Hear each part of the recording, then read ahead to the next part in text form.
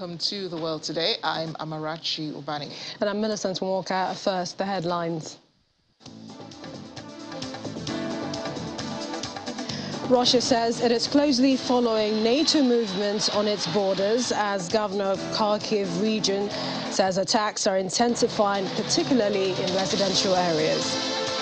UK Prime Minister Boris Johnson signs security pact with Sweden, pledges UK support should its military come under attack.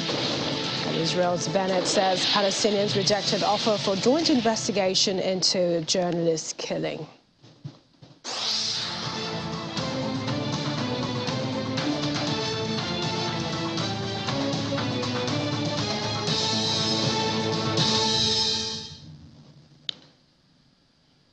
Welcome again. Uh, we begin with the U.S. Ambassador to Russia, John Sullivan, who has arrived at the Foreign Ministry today, along with Polish Ambassador Krzysztof Krajewski.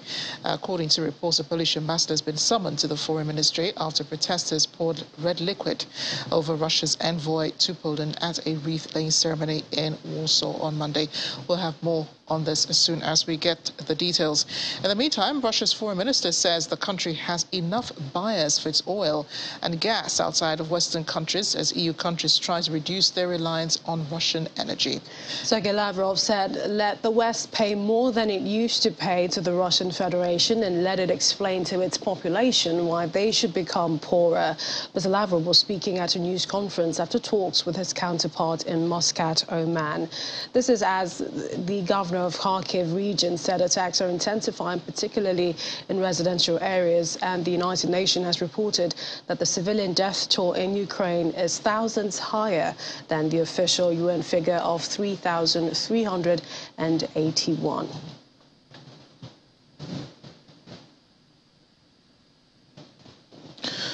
Well, uh, Kremlin spokesperson Dmitry Peskov says uh, that Russia remains committed to its gas supply deals after he was asked to comment on the dispute with Ukraine over the major gas transit to Europe.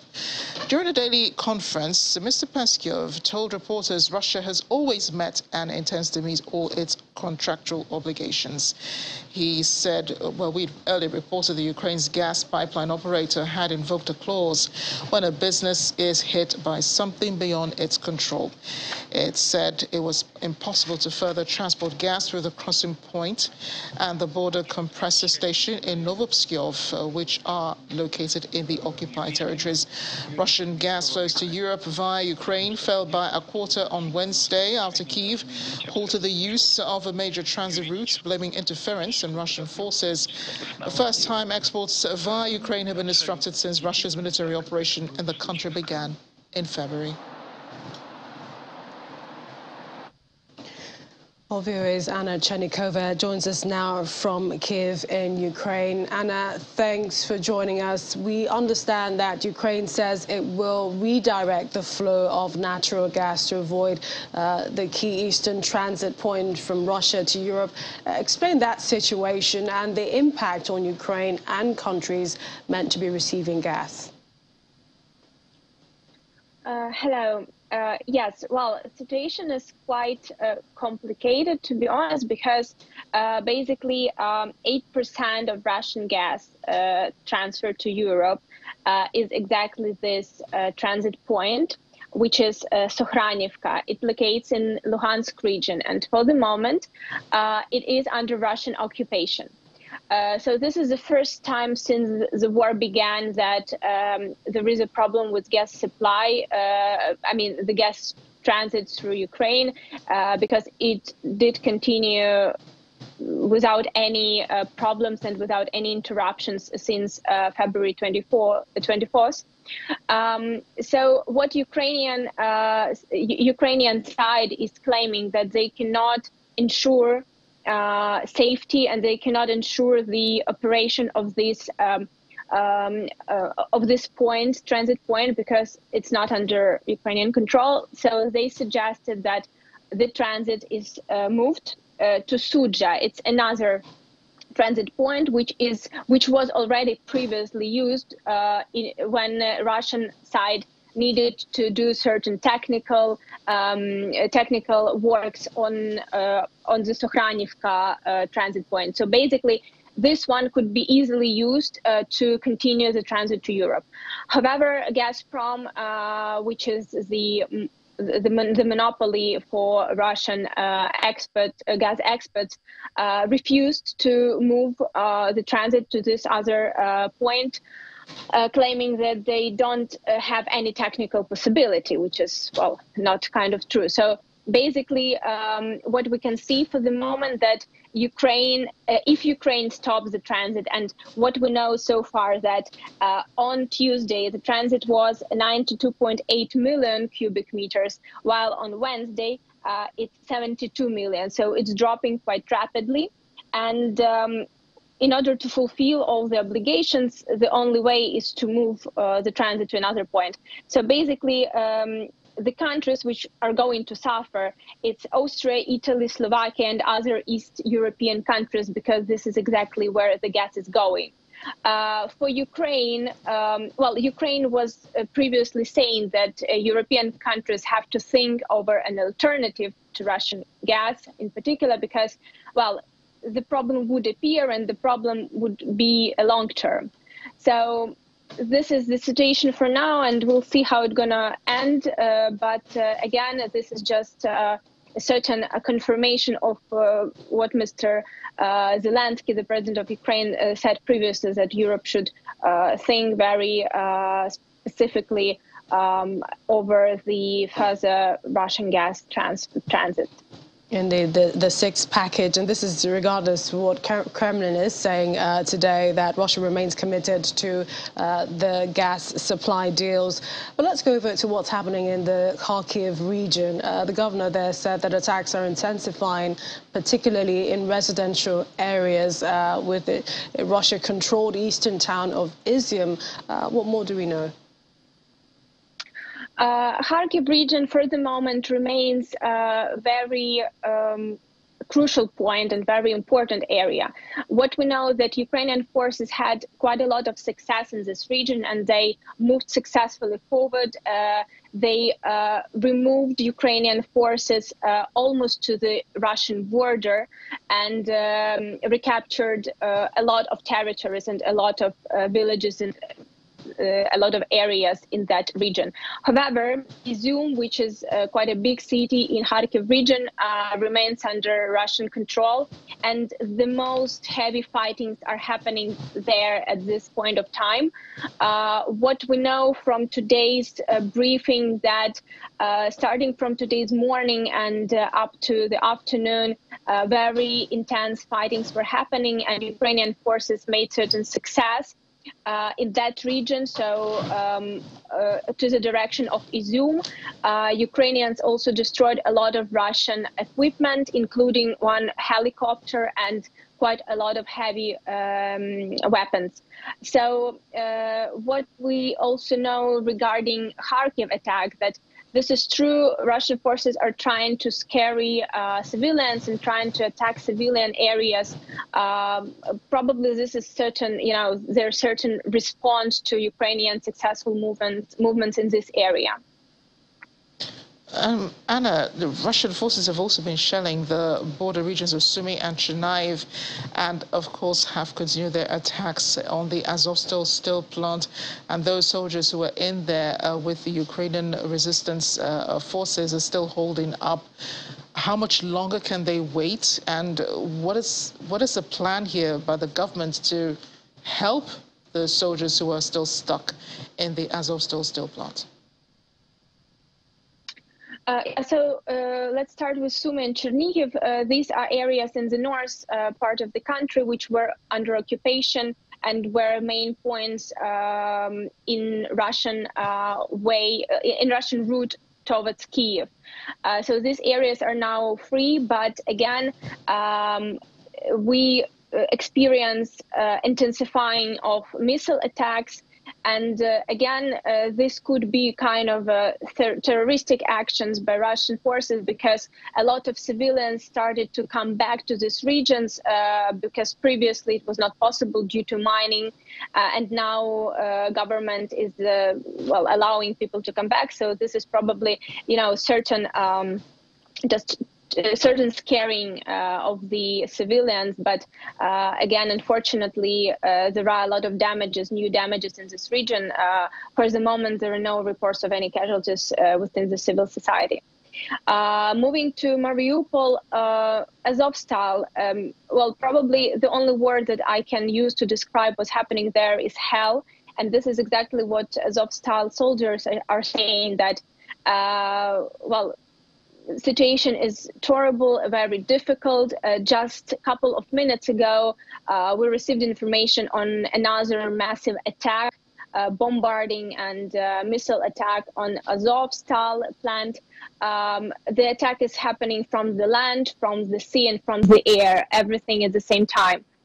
Um, soldiers remain uh, there. Uh, they report that there are still more than 100 of civilians in that uh, together with them in the shelter. So there are now no, the, the, plant is not free of civilians completely. Uh, however, today in the morning, a so-called leader of Donetsk People's Republic said that taking into consideration that there are no civilians there anymore, we can do whatever we want now. And after that uh, words, the uh, Russian forces started uh, another severe attack. Soldiers are keeping uh, the well, uh, protect keep the protection um, service, and they continue to uh, do their job. Uh, what they say that there are two possibilities of how this could uh, how this could be uh, resolved. So, and they said that they do see the military possibility to um, to retake Azovstal and um, so Ukrainian soldiers can try to do. Uh, we don't know, of course, the details, and we don't know if Ukrainian government would take this decision. Another way to rescue soldiers and to uh, resolve this is to uh, proceed with extraction procedure, which could be done by the third country. And this is another point that Ukrainian government is also considering and uh, is negotiating with uh, its European uh, international partners. Uh, so for the moment, we don't know how exactly uh, this situation could be resolved. But of course, for Ukrainian government, this is the main priority to rescue so soldiers and to rescue civilians that remain in the Azovstal plant. And I would like to remind you that uh, in Mariupol itself, in the city, there are still more than 120,000 civilians, and they also need to be uh, evacuated and rescued. Indeed, indeed, Anna. And uh, the situation in Kherson, uh, Russian forces reportedly have taken over the city and are putting, you know, their own people in many of the empty homes. Um, uh, we also understand authorities will be asking uh, the president, that's a Russian president, to uh, make the region a part of Russia. Is that true? This is what we heard from, uh, again, so-called uh, military um, management, as they, they call themselves, uh, of, of, of Kherson. Uh, they announced today that they, they are not going to create uh, a so-called Kherson People's Republic. this is what they claimed before that they would like to do something similar to what has been done in uh, Donetsk and Luhansk. Uh, so yeah, today they announced that they would ask Russian government to include Kherson to Russian terri- uh, to, to the Russian territory. Uh, Ukrainian officials uh, official reply uh, was that of course they can claim whatever they want and they can join whatever country or planet they want, but uh, there's definitely not going to be uh, recognized and it's not going to be uh, you know um, th- there's not going to be the case for them because ukrainian forces would take kherson over. This is ex- exactly what officials uh, ukrainian officials said. So uh, what we know that russian uh, government and in particular mr peskov the spokesperson of the president of russia said that if Kherson wants to do this, uh, they would have to go through the procedure that Crimea did. So basically, uh, what we can see from all this and uh, all these uh, things that we've heard, that probably they would try to uh, repeat Crimea scenario in Kherson. But again, uh, Ukrainian side is pretty sure that they're not going to be successful in that because Kherson would be recaptured back. Anna Chernikova, thanks for your reporting and do continue to stay safe. Thank you. We can bring you more on the situation in Ukraine as it enters uh, the third month of fighting there by Russian forces against the resistance of the Ukrainian forces.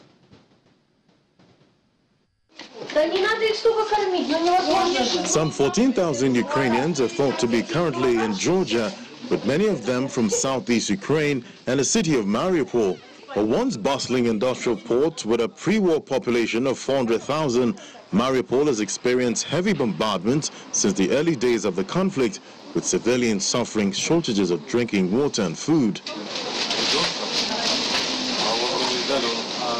The Kremlin and Russia's Emergency Situations Ministry has said it's offering humanitarian aid to those wanting to leave Mariupol. Russian authorities offered them emergency accommodation, food, temporary immigration documents, a 10,000 ruble grant, and onward travel to a new home in Russia, further away from the border, according to Russian officials and accounts from refugees. Meanwhile, at the Azovstal steel plant in Mariupol, and after evacuation of civilians, fierce fighting and bombings resumed. In an exclusive video by reporter Dmitry Maslak, who entered the steel plant from the northwest side, it shows continued explosions at the site. Judging from the map of the Azovstal steel plant, Maslak said the shelling mainly targeted several workshops and the plant, with airstrikes focusing on areas near the two chimneys. And to a hospital in the small Ukrainian town of Bakhmut, it was never intended to receive queues of ambulances bringing the wounded and traumatized from the front line of Europe's biggest battlefield.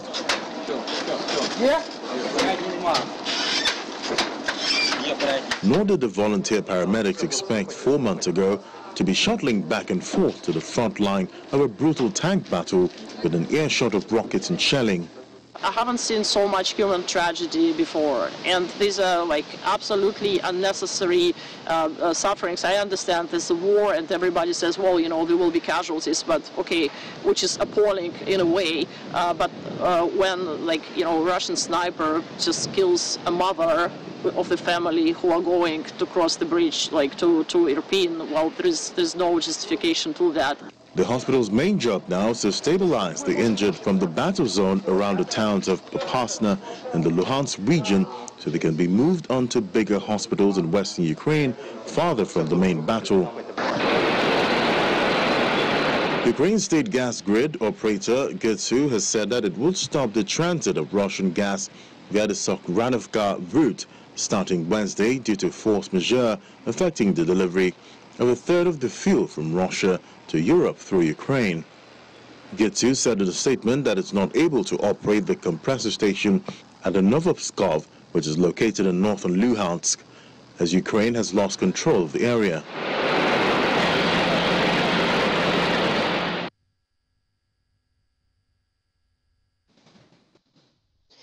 Finland's Prime Minister Sanna Marin has said that if her nation takes the historic step to apply to join the NATO alliance, it will be for the security of its own citizens and that the move would strengthen the whole global community. That's right. Marin, who is a, on a three-day visit to Tokyo, also mentioned Russia's actions in Ukraine openly violating international law and the Charter of the United Nations. She spoke just a day after meeting the Japanese Prime Minister Fumio Kishida and also day before uh, the Finnish President Sauli um, Niinisto is expected to say whether his country, which shares a long border with Russia, will apply to join the NATO alliance. Russia's invasion of Ukraine has pushed Finland and neighboring Sweden to the verge of applying for NATO membership, abandoning a belief held for decades that peace was best kept by not publicly choosing sides, but countries are close NATO partners, having taken part in the allied exercises for years. members of the with Prime Minister Kishida, we discussed Russia's horrible aggression against Ukraine and its consequences. Russia violates openly international law and the Charter of the United Nations. The atrocities against civilians continues. This cannot be accepted from any nation and even less from a permanent member of the Security Council. I told Prime Minister Kishida about our plans to possibly apply for NATO membership. If Finland makes this historical step, it is for the security of our own citizens. Joining NATO would strengthen the whole international community that stands for our common values. With Prime Minister Kishida, we discussed the general disappointment towards the United Nations Security Council. The power of veto has been abused. We must reform the Council to become transparent, more effect effective, and more representative.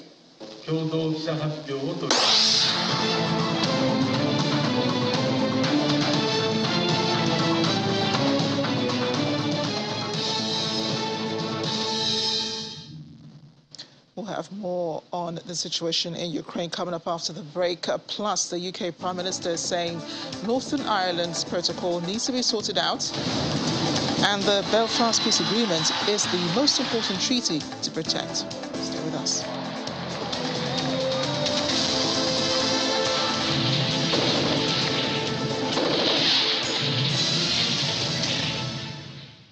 Welcome back. The UK has signed an agreement with Sweden and Finland to support both nations should they come under attack, most probably by Russia. Earlier today, British Prime Minister Boris Johnson said he had agreed a new deal with his Swedish counterpart. It was described by Britain as a step change in defence and security cooperation. The deal was signed during his visit to Sweden. And he'll be signing, the same deal with Finland in a few minutes. Uh, Russia's invasion of Ukraine has forced a rethink of how Sweden and neighbour Finland safeguard national security. Both are expected to join NATO, but worry they would be vulnerable while their applications are being processed, which could take up to a year. Sweden has also received assurances from Germany and the United States.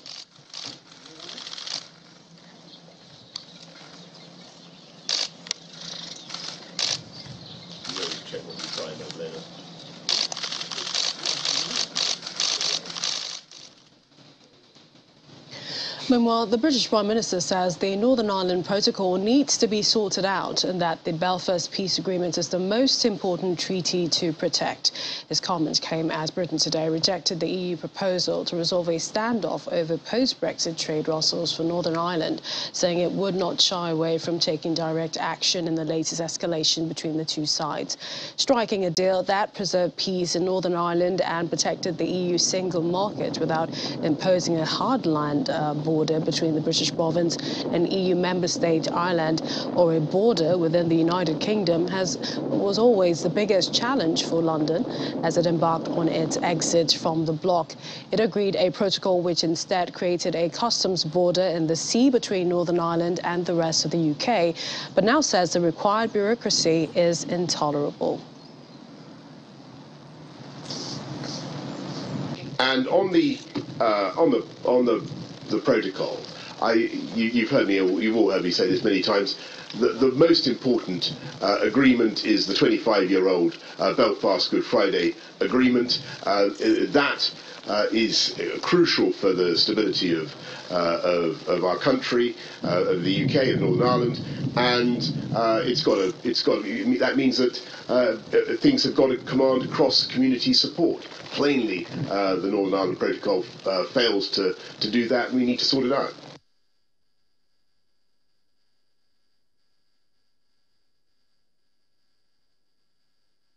To local politics in the United States now, where former President Donald Trump's pick for Nebraska's Republican primary election for governor, Charles Herbster, lost to his rival Jim Pillen on Tuesday night. The Nebraska contest had been nominated dominated, beg your pardon, in recent weeks by ac accusations that Herbster, an agriculture executive, had sexually harassed several women, which he's denied.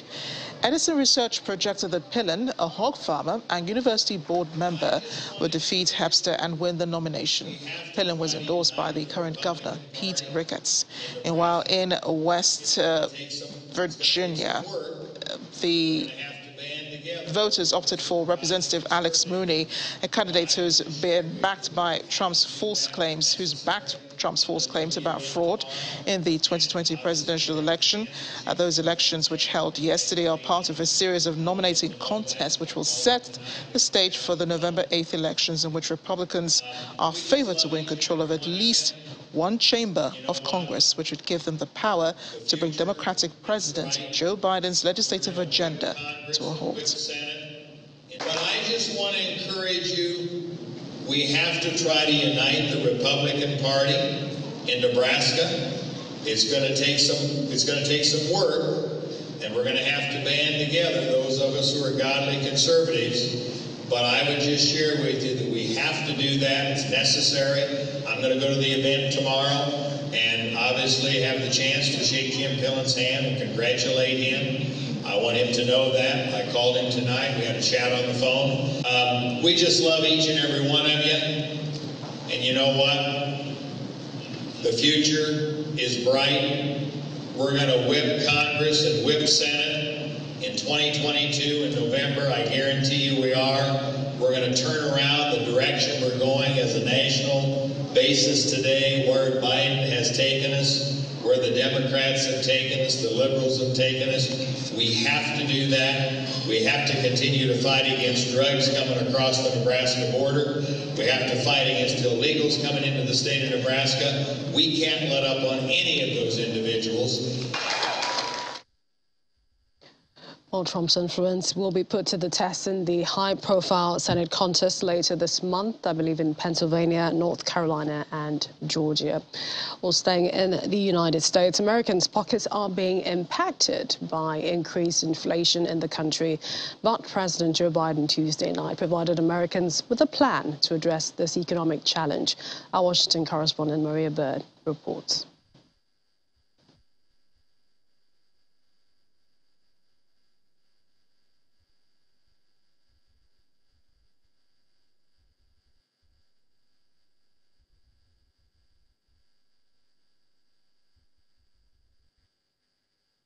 Well, Maria's report in a minute, but Maria joins us now for more. Um, our Washington correspondent. Maria, is the president's plan on a, well, lost uh, the connection with Maria. I will try to reconnect with her and then get back to that story. In the meantime, making a brief stop back in Europe, uh, the European Union has outlined plans to better protect children against online sexual abuse, obliging internet service providers to detect, report, and remove any such material regardless of where they are based. The initiative was presented by EU Commissioner for Home Affairs, Ylva Johansson and EU Demo Democracy and Demography Commissioner Dubravka Šuica. Suka says most children in the EU use their smartphones daily and almost twice as much compared to 10 years ago and from a much younger age. And at least 60% of child sexual abuse material worldwide is hosted on EU this servers. proposal is about a the vision for today's child, child, rights package is for children to be protected, empowered and respected online with no one left behind. Therefore, today we have adopted a new Better Internet for Kids strategy and a regulation to fight online child sexual abuse. This proposal is about a groundbreaking European legislation that will help you to prosecute more uh, criminals. And to the perpetrators, we are coming for you.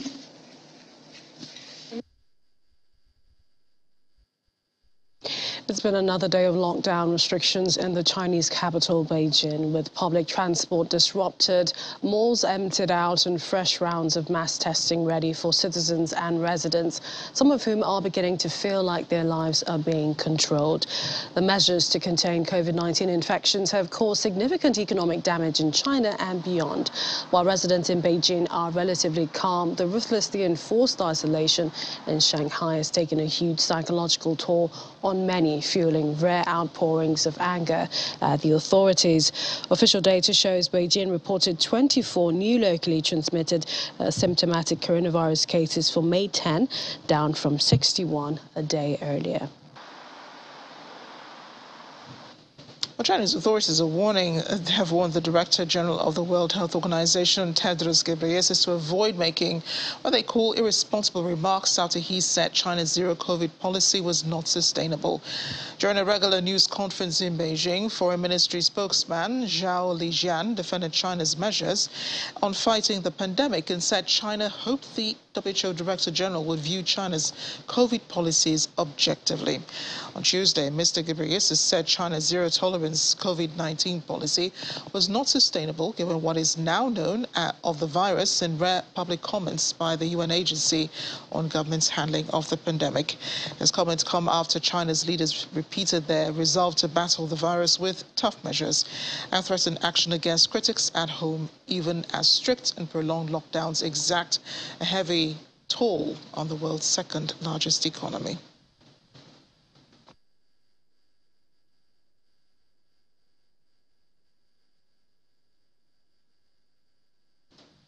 Paul Hittenbach also is an official with Shanghai's Disease Control Center, uh, this time at criticism of the city's harsh COVID quarantine measures, saying the detention of large numbers of people declared to be close contacts with positive cases was illegal.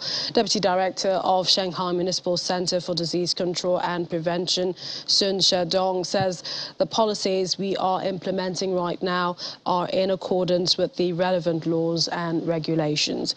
Sun's adds a clause in China's infectious disease law stipulated individuals were obliged to comply with measures adopted by the CDC and other health care agencies to prevent the spread of disease.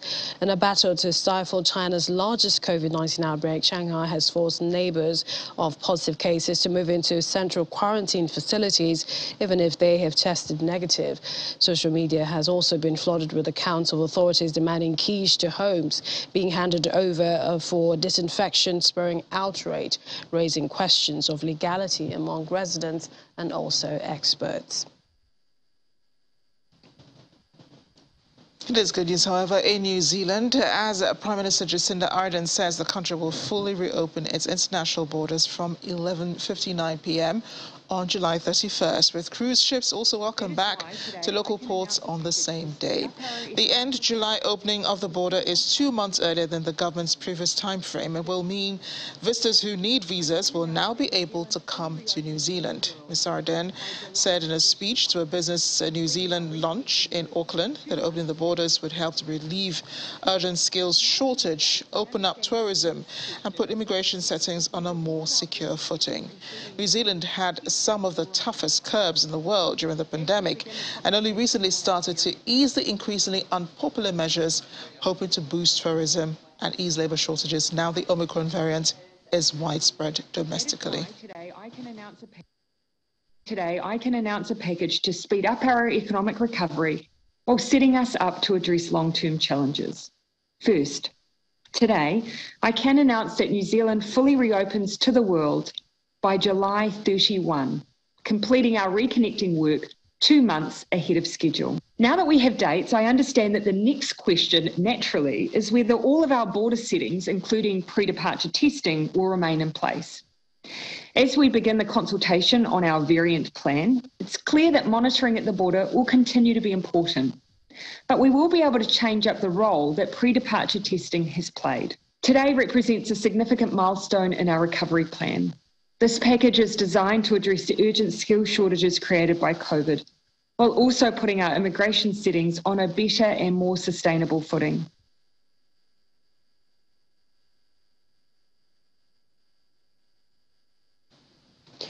Well, staying with COVID-19, on a sunny afternoon, Elie Mwenda happily snapped pictures of his sister Rebecca Muthinji by the Eiffel Tower, two of many tourists enjoying a long overdue break in Paris after freezing holiday plans due to the pandemic. Right, that Paris trip for the siblings was a graduation gift for Muthinji, and who initially planned it for 2020. Uh, two years later, they finally made it, with Muthinji traveling from Britain and Mwenda all the way from Kenya. The Paris Tourist Office is forecasting foreign visitors will increase more than fivefold in May, July compared to the same period last year. It's all thanks to tourists from Spain, Germany, Britain, and Italy. Well, that will, however, still be a third less than pre pandemic levels, partly because US and Asian tourists are not expected to be back in large numbers yet.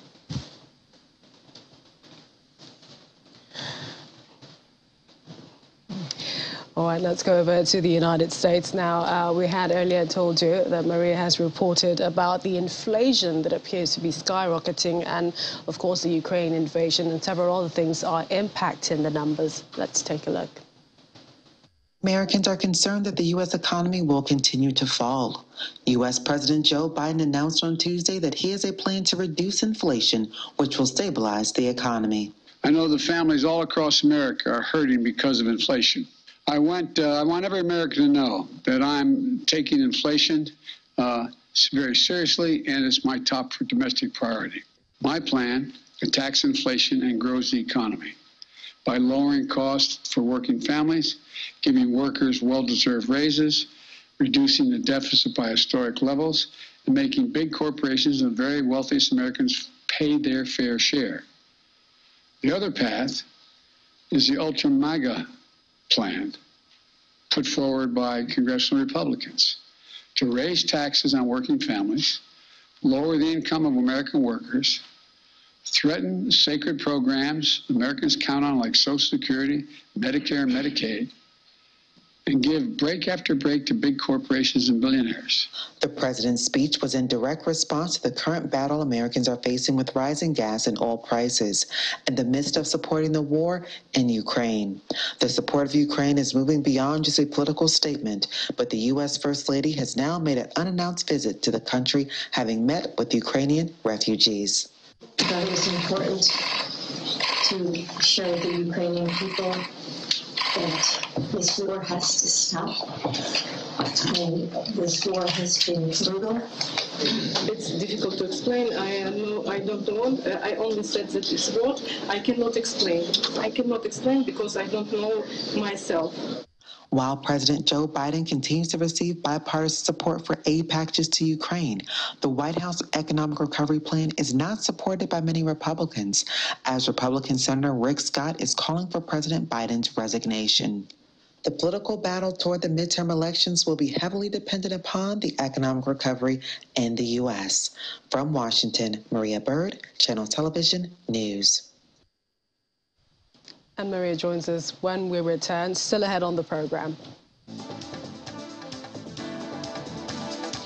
Internally displaced persons in Nigeria learn how to identify and avoid explosive devices. Stay with us.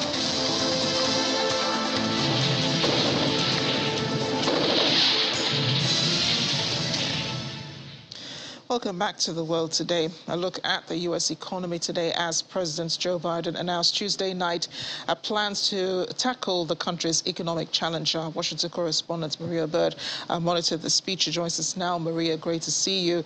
Is the president's plan a one-size-fits-all for the American people? When you really look at the plan, you see where it's pretty much focused in on several different groups in the U.S. It's those who are underemployed, those who are still dependent heavily on social services in the U.S., those who are in the middle of the road, um, who are still looking for employment or those who have left their employment because they felt they were underpaid or needed to deal with family circumstances. And then it also deals with those wealthier in the U.S. and how uh, many of the corporate taxes are going to potentially be re-implemented uh, to ensure there's a equity across the board as, as it relates to how taxes are paid. So it really looks at the various groups across the United States and it heavily deals with the supply chain challenges that are greatly impacting the inflation. So it is really interesting. The country is going through high inflation, but we've seen, you know, some of the, the polls showing this administration has provided more jobs for the American people than previous administrations. When it comes to the dollars and cents of it, Maria, how badly is the American economy doing? You're exactly correct. There are more jobs available. The question is, are there individuals that are willing to go out and work the jobs? Many people have gone home as a result of COVID 19, gone home to take care of family, or just had different outlooks on how they want to live their life, their quality of life. Um, and so that has made more jobs available. And obviously, as a result of COVID, uh, the world has changed and the work environment and the needs have changed. And obviously, the U.S. is obviously dealing with um, infrastructure challenges. And so there's a great deal deal of jobs in that infrastructure field that are needed to be filled, but there's also a skill set skill set shortage as well. Um, and so what we're going to begin to see is we're going to really begin to see uh, the dollar and cents components potentially meet up with the needs that exist. But if you're looking at someone who, you know, restaurants are looking for waitresses, well, the the, the salary of a waitress just does not meet um, what is needed and required to be able to sustain the cost of living in the U.S. And most importantly, being able to even just put food on the table as grocery store prices um, have skyrocketed 30 to 40 percent just in the last 30 to 45 days. So, Maria, some would say how much more jobs really were created. Some would say 448,000 isn't a lot compared to the number of people uh, the size of the country. Um, but, I mean, if inflation is still high and, and, some of that being blamed on the COVID pandemic, um, what is the practical solution to improving the numbers? Well, President Biden, as we've discussed, has come out with a very a plan um, that he believes a practical solution. Uh, the first effort is really going to be able to get some of the skill sets meeting with the needs um, and being able to ensure. Because if you look at the the inflation has increased, but the salaries and the uh, what people are being paid on hourly wages have not been increased over the past few years. And so when you have uh, this uh, unbalance in that area, you're really going to see um, not being able to meet the basic needs. But again, from a very practical perspective, if they're able to balance out the salaries um, and the income individuals are making in comparison to inflation, that will obviously adjust it as well. And if they can begin to balance out the supply chain challenges and be able to produce more at a, at a much lower rate. President Biden also says he's considering eliminating Trump-era tariffs on China um, as a way to, to lower prices for goods in the U.S., though he has not made any decision uh, on it yet. I know you've spoken to some economists about this. Where do most of them stand? Most economists foresee this is going to definitely have to occur. Um, we had, you know, obviously major trade relationships prior to the Trump administration with China. Um, as we know, there still exist some challenges politically between the U.S. and China, um, despite the change of administration. But I believe that at this point now, uh, President Biden and what many economists are seeing, he has no choice but to try to mend ways and to try to increase um, those relationships, those tariffs, reducing those, if not eliminating those as a whole, and really being able to bolster um, the relationship, the economic relationship between the U.S. and China. Maria Bird in Washington, thanks again.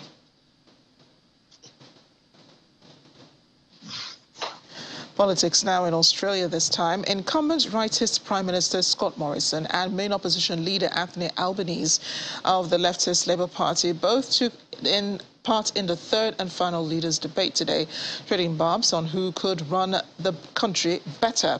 Morrison and Albanese fielded questions from journalist Mark Riley, with the viewers in marginal seats asked to vote on who they want to be leader after seeing the debate. According to the viewer verdict poll, Albanese had a comfortable win with 50% of the viewership, while Morrison had a 34% of the vote and 16% remained undecided. The Australian general election will be held on May 21st. Evening and welcome to the final showdown. There are just 10 days to go before Australia chooses its next leaders for the Prime Ministership face to face.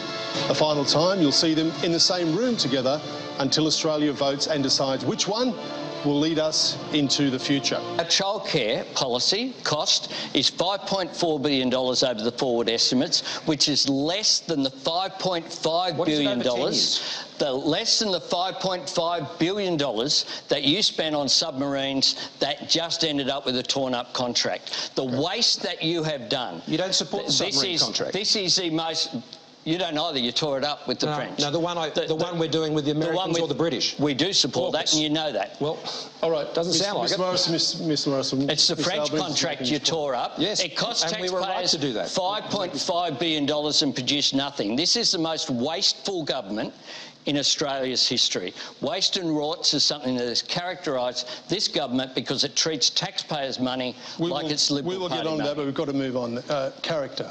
And this is a Labor leader who comes from the far left of the party and has been very loose He's a loose unit when it comes to the economy. He makes things up as he goes along.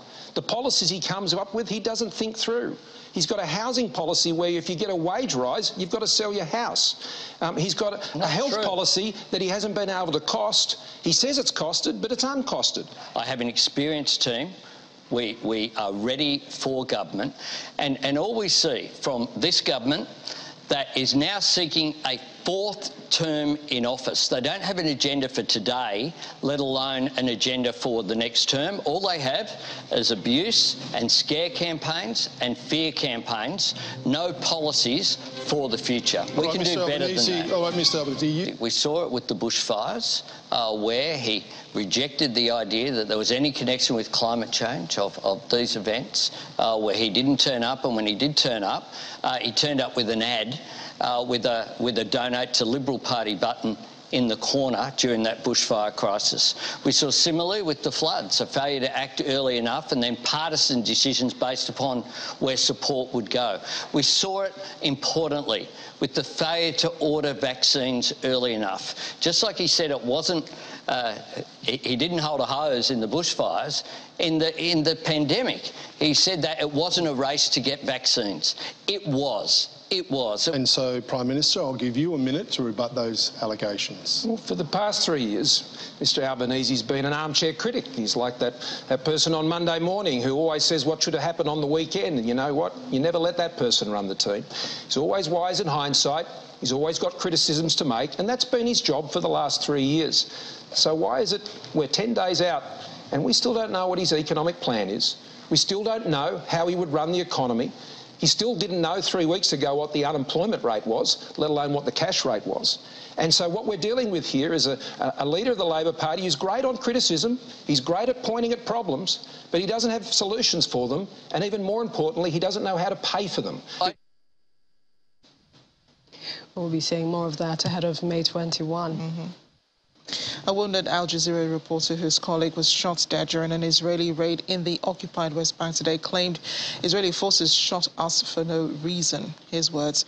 Ali Al Samudi, a Palestinian journalist, was wounded alongside Shireen Abu Akleh, uh, the colleague who was killed. Akleh, 51-year-old Palestinian-American, was wearing a press vest. Akleh marked her as a journalist while reporting in the city of Jenin. She was covering the latest in intensified military incursion in the West Bank launched amid deadly Arab Street attacks in Israel. Israeli Prime Minister Naftali Bennett has said that according to information uh, Israel has gathered so far, it appears likely that armed Palestinians who were firing indiscriminately at the time were responsible for the unfortunate death of the journalist. The Palestinian Health Ministry said she had been hit in the head by gunfire. Palestinian President Mahmoud Abbas said that Al Jazeera described her death as blatant, cold-blooded murder by Israeli forces. In a statement, the military said its troops had shot back after coming under massive fire in Jenin.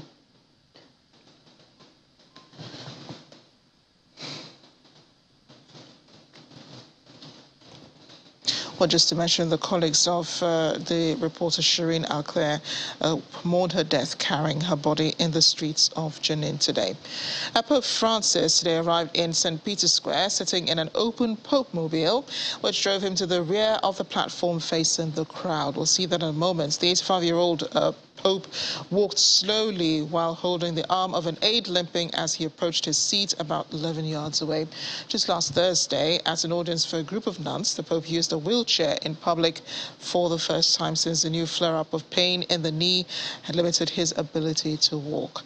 While speaking to the at the end of a general audience in St. Peter's Square, Pope Francis urged authorities in Sri Lanka, which has been shaken by unrest over the country's worst economic crisis, to listen to the hopes of the people and respect human rights and civil liberties.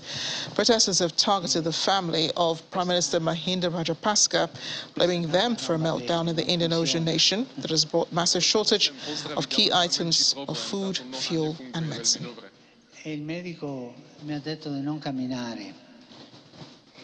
A passenger on board a United Airlines flight captured the moment when the plane made an emergency landing in the Peruvian capital, Lima. UA 855 was traveling to Houston, Texas from Lima when it developed technical problems. It had taken off from Lima's Jorge Chavez Airport and had to return after the incident. The passenger filmed sparks flying from the tires as the plane made the emergency landing. Passengers safely disembarked uh, from the plane. In a statement, United Airlines said its maintenance team will investigate what caused the technical problem. Local media reports that the damage was located in one of the engines. It's pretty scary. Internally displaced persons in Borno State here in Nigeria are learning how to identify and avoid explosive devices. Using images and simulations, Nigerians placed, displaced by deadly Islamist insurgency are receiving life-saving lessons about how to identify those devices, right? A training is organized by global humanitarian and advocacy organization Mines Advisory Group. Global Humanitarian and Advocacy Organization Mines Advisory Group, MAG, is coordinating the teachings around the northeast of Nigeria, helping people from war-ravaged communities live, play and work as safely as possible. Back in 2014, when Jediaye Gentiku was still a student at the University of Maiduguri, he unknowingly picked up a bomb after soldiers repelled a Boko Haram attack with plans to show it to the security. But an older man asked him to drop it gently and instead go and call the security to manage the situation. That near-death experience inspired him to join MAG to teach others. Jantiku is now a community liaison officer with MAG. Most of the beneficiaries in the camps in Borno or all displaced people in Borno entirely, they are farmers. Some are firewood vendors, some are hunters. And all these people used to go to the bush and get their livelihood activities. And these bushes are placed at the battlefield during this insurgency for the past eight years. So they used to get in contact with this ERW in the community. At this camp in Borno, northeast Nigeria, workers are teaching the people how to identify and avoid coming in contact with explosive devices. Using pictures, banners and other objects for simulation, they are taught to identify landmines, bombs and several other types of explosives and reach out to authorities for safe removal. For Umar Sani, Gubio camp has been his home for eight years since he fled his village during a Boko Haram raid. He's been living here with his two wives and 17 children. He says though it is not safe for him to go back to the village, learning how to live a risk-free life will be a plus if they are finally evacuated. If we're to go back to our villages now, then I sincerely see it as a forced eviction. The reason is that we left our villages because of conflict and the problems are still there. MAG's contribution in this camp is that they gather us district by district and enlighten us on what to do or avoid when we eventually go back to our villages. The displaced persons in these communities who are predominantly farmers and firewood sellers who wade through forests and bush paths are taught not to touch these explosives when they sight them, but to reach out to authorities for action. Some of them don't used to know what these items are. They used to pick them as scrap metal or they used to pick them so that they can use it in doing pot or other activities. So before they know, it will end up taking their life. But with our activity commencing in Borno, some of them get to know that some of the items are dangerous items and they are appreciating our activity for saving their lives. Borno, which shares a border with Niger, Cameroon and Chad, has for more than a decade been the foremost outpost of insurgency.